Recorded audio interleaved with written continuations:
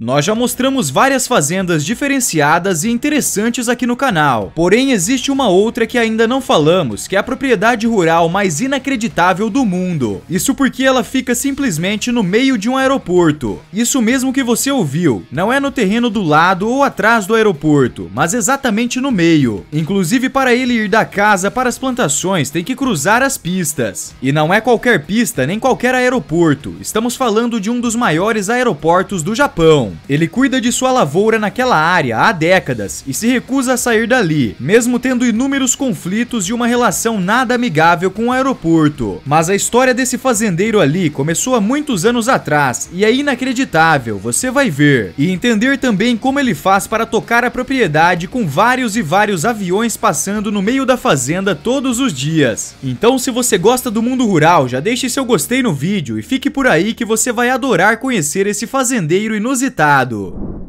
o aeroporto de Narita é o principal portão de entrada internacional do Japão e movimenta quase 45 milhões de passageiros por ano. E a história desse aeroporto é cheia de conflitos. Na época que Narita foi planejado, na década de 1960, esse era um dos maiores projetos de obra pública já realizados no Japão. Portanto, a expectativa era grande. O grandioso projeto, porém, acabou tendo somente um terço do tamanho original. Isso porque os fazendeiros que teriam as terras confiscadas pelo governo resistiram a sair. A área escolhida pelo governo, Sanrizuka, fica fora do município de Narita. Muitos dos lotes por ali pertenciam à agência da Casa Imperial, responsável por questões relativas à família imperial japonesa, e os demais eram basicamente ocupados por fazendeiros, em sua maioria pobres, cerca de 1.200 pessoas. É claro que o governo não imaginou que os fazendeiros pobres fossem oferecer qualquer tipo de resistência, mas o que aconteceu foi um pouco diferente. Quando a polícia apareceu para forçar forçá-los violentamente a se mudarem, a resistência comoveu muitos japoneses, principalmente os estudantes que consideravam aquilo como errado. O resultado foi um dos protestos mais violentos da história do ativismo japonês. Algumas pessoas mortas e centenas de feridas ou presas. Porém, pouco a pouco os manifestantes começaram a abandonar e vender suas terras, em alguns casos por grandes compensações financeiras. A inauguração do aeroporto foi adiada por anos. Seu tamanho e funcionalidade foram seriamente reduzidos. A abertura se deu em 1978 e com uma única pista ao invés de duas conforme planejado, e a segunda pista veio somente em 2002. A maioria dos fazendeiros acabou abrindo mão de suas terras. Entretanto, uma das famílias mais impactadas continua resistindo até os dias de hoje. Essa é a história da família de Takão Shito, o homem que vive, planta e colhe no meio do aeroporto de Narita. Os antepassados de Chito já cultivavam na região de Narita, a começar pelo seu avô há cerca de 100 anos atrás. A tradição foi passando de geração em geração até chegar em Takão Chito, que assumiu as terras e as tarefas do pai após o seu falecimento. Assim como seu pai o fez durante os manifestos da década de 1960, Chito se recusa a deixar a fazenda. Basicamente, ele ocupa duas áreas do aeroporto de Narita, uma onde fica a sua casa e outra onde mantém uma plantação orgânica de 10 tipos de vegetais, como cebola, alho, cenoura e cebolinha. Quando a segunda pista do aeroporto foi planejada, mais uma vez foi oferecido a Chito uma boa quantia de dinheiro pela área onde fica suas plantações, pois elas ficam exatamente por onde passaria uma taxiway, que levaria até uma das cabeceiras da pista. Chito recusou a oferta e o projeto teve que ser adaptado, adicionando uma curva em torno de sua plantação, como é possível ver nessa imagem. A casa de Chito também precisa ser desviada pelas aeronaves e o acesso é feito por túneis que passam por baixo do aeroporto. Essa foto mostra a entrada da casa dele. É impressionante. Morar dentro de um gigantesco aeroporto não tem sido fácil para o fazendeiro. O som de aviões decolando é ensurdecedor, mas Chito não abre mão. Para ele, essa não é somente uma questão de dinheiro, até porque o aeroporto já chegou a oferecer 180 milhões de ienes, o equivalente a mais de 1 milhão e 200 mil dólares, pelos seus lotes. Em entrevistas, ele diz que faz agricultura orgânica sem pesticidas, e por isso você não pode simplesmente mover a superfície do solo e esperar que seja o mesmo mesmo em lotes diferentes. Ele conta também que se diverte cultivando vegetais ali, e essa é a vida dele, cultivar vegetais naquele solo. O japonês possui cerca de 400 clientes em Tóquio e arredores. Então, além da paixão por suas terras, ele tem muitos conhecidos e amigos na região. E pelo que tudo indica, ele nunca vai sair de lá por conta própria. Afinal, ele ama aquelas terras e não as troca por nada.